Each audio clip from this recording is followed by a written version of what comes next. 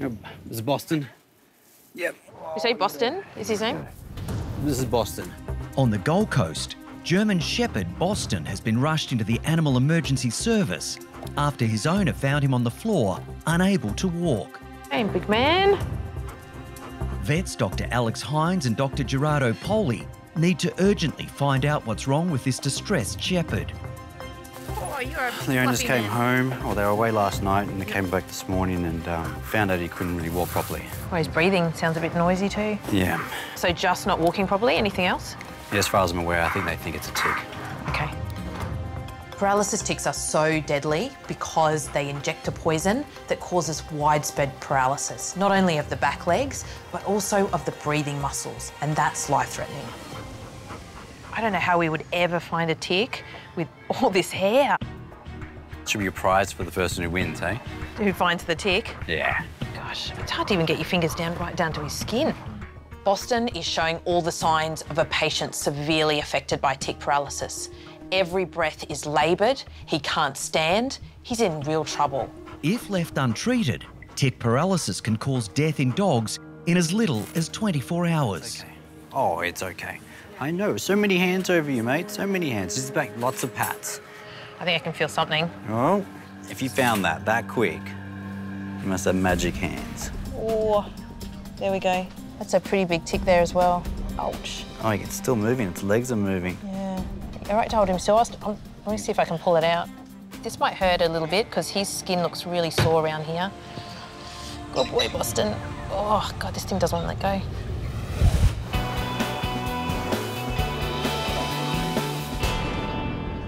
That's a pretty big tick there. Ouch. Back on the Gold Coast, Alex and Gerardo are trying to remove a deadly tick that has paralysed German Shepherd Boston. Oh, God, this thing doesn't want to let go. Oh, I'm sorry, mate. Good go. boy. Wow. It's amazing how something that small can have such a deadly impact. Yeah. It's pretty incredible, isn't it? He's such a big dog. But that would be enough to cause the kind of paralysis that he's showing. I think he'd benefit from some, some sedation, wouldn't he? Yeah. He's just, even to help that, that upper airway breathing. Now that we've found the tick, it's vital that we get Boston onto some oxygen because I can see that he's already suffering from breathing paralysis. And then we can start the tick anti-serum. We're still going to have to clip all his hair off because we don't know that there's not another one there. But in the short term, he really needs the tick anti-serum because the toxin is circulating around his system at the moment. And the quicker we get the anti-serum on board, that will allow it to start neutralising the toxin. Come on through. Before starting treatment, Alex is bringing through owners Rebecca, Wade, and little Harlow to say goodbye to Boston. You couldn't go and not say goodbye, I think, and especially for my little one. Got to give him love and stuff like that and make sure he's okay before we leave. There he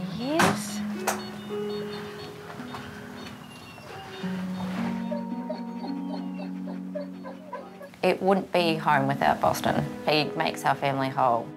He's the best dog. He's just so good with our little one. She climbs all over him and he's just so patient with her and loves her. I feel like with dogs, when you look into the eyes, you can kind of see what's going on and he looks very sad, struggling. You look sad. He's a bit sad, yeah.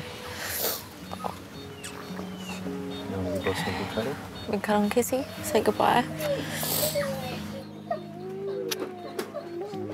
Okay, guys. Say, see you soon, Boston. I really want to clip Boston's hair to be sure there are no other ticks, but he's too unstable. We're going to have to leave him for tonight, and tomorrow morning, hopefully, he'll be well enough that we can do the clip.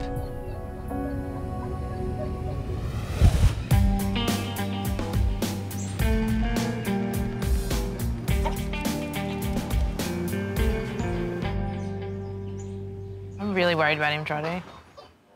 At the Animal Emergency Service on the Gold Coast, four year old tick paralysis patient Boston has taken a turn for the worse. We've given Boston sedation, and that's helped, but his oxygen levels are dropping. I want to get the tick anti-serum on board, but at this stage, I have to get him stable. His oxygen levels are dangerously low. Come on, Mr. Boston. Hey. I'm becoming concerned that we're going to have to intubate him, take control of his airway, and put him on life support. It's, it's really gurgly. Just wondering if if we even got to suction him, even in his mouth. Hear that? Mm. He's real gurgly. We try an oxygen mask, but Boston's fighting it. It feels claustrophobic. I know we're going to need to put a nasal line in if we're going to help him with his oxygen levels. This is definitely better than him just having a mask in front of his face he doesn't tolerate. And it's much better than him breathing room air, so he needs this.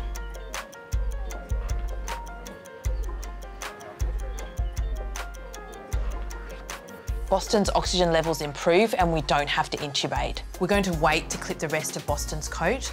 We know there was one tick, there could be more, but at the moment the priority is to get the tick anti serum on board. Yep. Okay, that's running. Once that's into his bloodstream, neutralising the toxin, I'm hoping we'll get him to turn the corner. You can hear that noise that he's making. Each breath is taking extra effort, and that's a real worry. If his breathing slows down, then that's where we start to need to intervene, and we may even need to take over the work of breathing for him.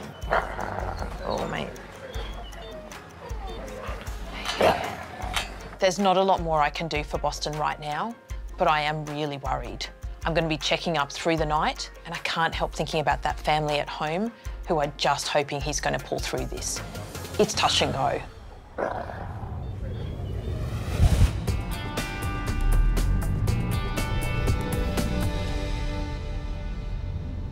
There we go.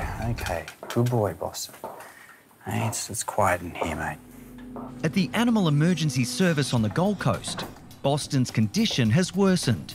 The German Shepherd is battling deadly tick paralysis, and Gerardo is deeply concerned. Boston's pretty serious at the moment. So what's happened is the toxin has still had an effect, and the antiserum mops up the toxin in the bloodstream, but there's still toxin bound to his nerves, and that's his own immune system will have to get rid of that over time. So generally what happens is a little bit of a deterioration over the next sort of six or 12 hours, and he's kind of deteriorated quite rapidly. Boston has been transferred to the intensive care unit as his condition is now critical. The nursing care is a bit more intensive, so hopefully that's enough to keep him stable, keep him comfortable, so we don't have to progress his care into mechanical life support.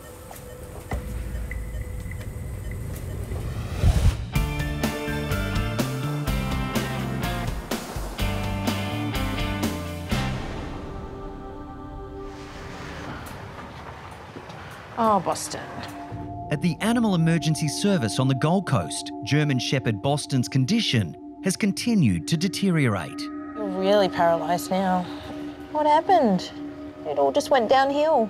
Your family's going to be so worried about you. We knew that this could happen, Boston, hey, but I was really hoping it wouldn't. But you definitely are worse than yesterday. Alex fears the poison from a deadly paralysis tick may have done too much damage before the antivenom could take effect. He's now got two oxygen lines in. He's definitely still putting a lot of effort into breathing. We're worried about what we can hear on his chest sounds, and we think he might have aspirated, so we think he's developed pneumonia. So we're going to want to take some chest x rays, and then we'll know how bad this is. Good boy. In we go, Boston. Good boy. It's okay. Okay, big fella. All right, we're ready. You all right?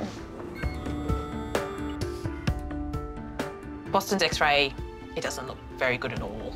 What I'm seeing is almost complete consolidation of the lung. This is pneumonia on a massive scale. This has added a whole level of complexity to Boston's condition. It means that not only is he dealing with the tick paralysis, but he's got a severe pneumonia, and this could be the part that's life-threatening now.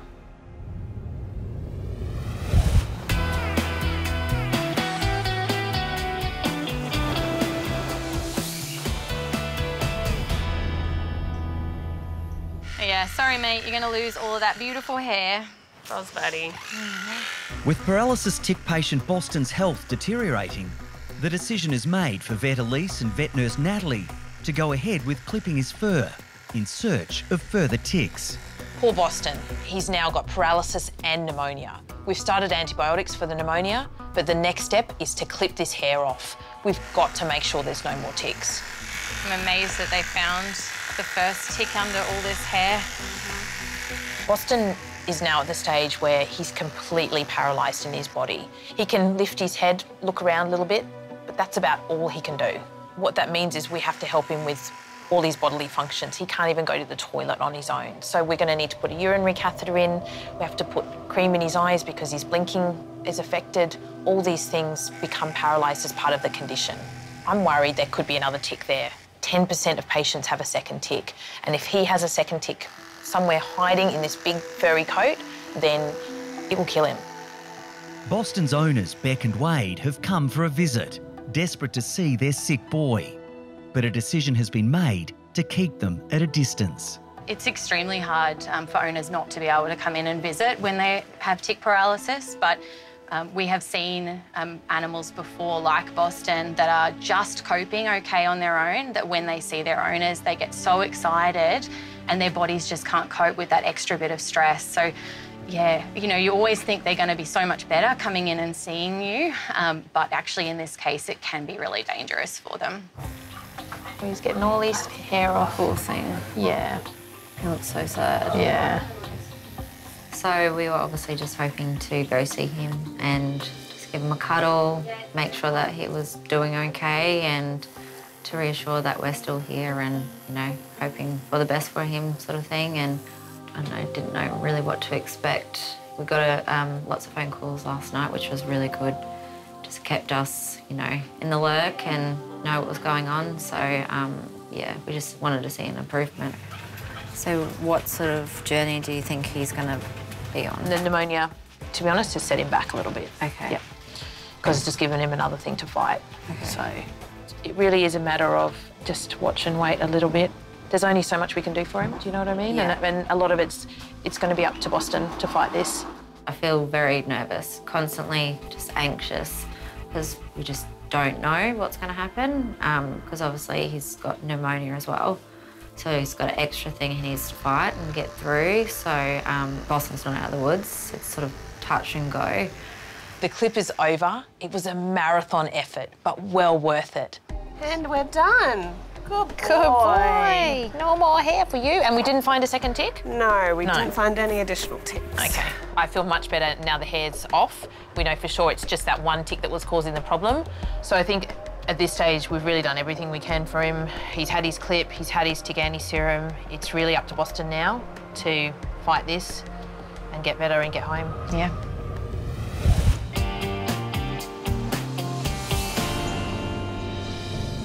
Hey, Boston. How are you doing this morning? You're still on your oxygen by the look of it. On the Gold Coast, tick paralysis patient Boston is still in intensive care, and Alex can't relax just yet. It's been two days since Boston came into intensive care. It's good to see that the paralysis is wearing off, but the pneumonia, it still has him in the danger zone. That breathing sound still sounds a bit rough, hey, mate?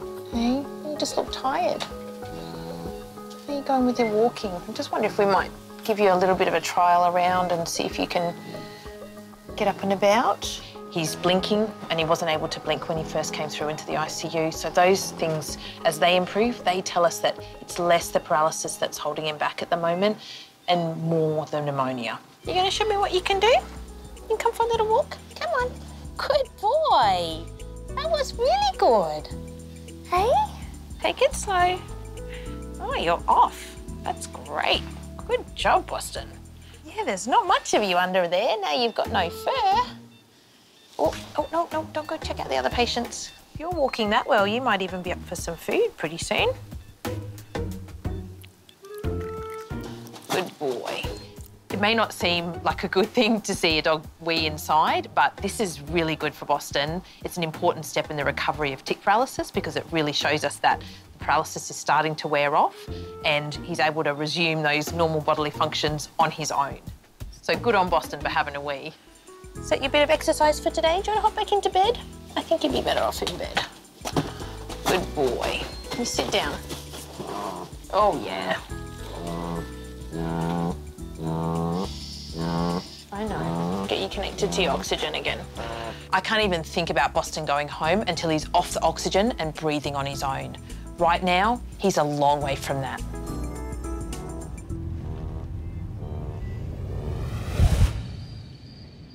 You're feeling much better now, aren't you, Boston? Hey, you're such a good boy. Hey, you want to go home today? That'll be pretty exciting. Gonna see your family again. Good boy. Yeah. It's been five days since German Shepherd Boston was bitten by a deadly paralysis tick and left fighting for life. After a week in intensive care, he's finally on the mend. Hey, how's it going? Hey, yeah, really well. Um, he is doing fantastic. So what's the verdict? Is he, do you think he's good enough to go home? Yeah, I think he's ready to come home. He is off oxygen. Um, he's had some dinner and he's up and walking around. That's so good. Hey, Boston. Hey, are you a good boy? Thank you. Thank you, buddy. I am so thrilled that Boston is going home today. There were moments where I wasn't sure if he was going to survive, and just being able to take him out to his family, this is going to be incredible. Hello. Hi. Does he look a bit different? Yeah, it looks a lot different. It's so different. Buddy. Oh, boy. Hey, buddy. Yeah. What do you think, Harlow? Did you still know it was Boston? Do you know it's Boston? Hello, boy. Oh, that's honestly, that's the happiest he's. he's He looked a bit unsure. He was like, "Oh." Hey, boy. There's a boy. Okay. he looks so different. You want to take the tail? But he's still our baby. Yeah. You take Yeah. The tail? It can be really tough as an emergency vet. It's long hours, it's tough work, there's big decisions to be made. But seeing patients like Boston go home today, it's so worthwhile. This is why we do it. Eddie, you be a good boy. Are you going to take him out? Yeah, he's not Oh, going to be. not that way. This way, Bubba. Boston, come on. Let's go, boy. Yeah. Yeah, hold on tight. Hi, I'm Dr. Danny Dusek from Bondi Vet. If you love our show and want to see more, plus some amazing content about pets and how to care for them, hit the subscribe button. Click that little notification bell and we'll see you on our next video.